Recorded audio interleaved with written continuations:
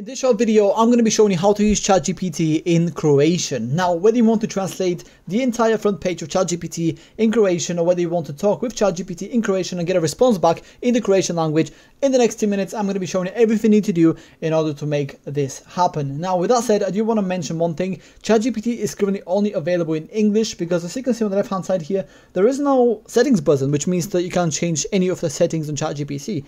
However, I did find a way around that. So, I am using Google Chrome on a Windows PC, so if you use a different operating system, browser or device, the process might be a little bit different for you or it might even not be possible. So at the very least, please do make sure to use Google Chrome because I'm not sure whether any of the other browsers have this feature. So once you're on ChatGPT on Google Chrome, right click anywhere on the screen, then click on translate to. In my case, it's in English. Uh, I'm not sure what language it will be in yours, but that will depend on the country that you're in. So to add Croatian to this uh, list of languages, simply click on the three dots, then click on choose another language, and then click on the little arrow. From the from this massive list of languages, find Croatian, which is right here, then click on translate, and as you can see, the entire front page uh, on ChatGPT is now translated into Croatian. So, in order to speak with ChatGPT uh, in Croatian, all you have to do is simply talk to ChatGPT in the Croatian language and it will revert back to you in the same language because it understands the input that you're using. So to test this out, I did actually go ahead and copy a phrase uh, from Google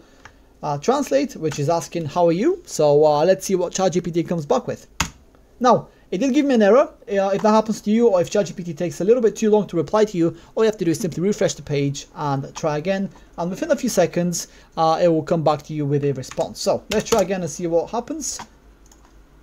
And there we go. ChatGPT is now replying to me in Croatian. I'm not sure what this is saying because I don't speak Croatian, but if you do speak Croatian, then uh, you know what it's saying. Now, the phrases they're using don't have to be as simple as how are you. It could use any kind of uh, requests in Croatian and ChatGPT will revert back to you in the same language. So hopefully you found this video helpful. Please do go ahead and leave a like down below and subscribe to the channel. If you have any questions, let me know and I'll be more than happy to help.